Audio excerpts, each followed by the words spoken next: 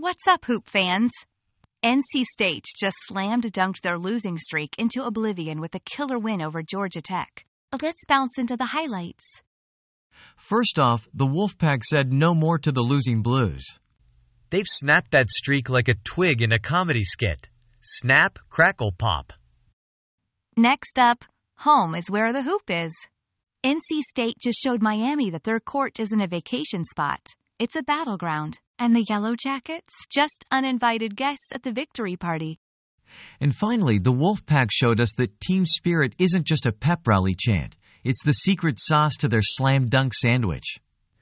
They spread it on thick tonight, folks. And there you have it. A game so entertaining. Even the basketball was laughing.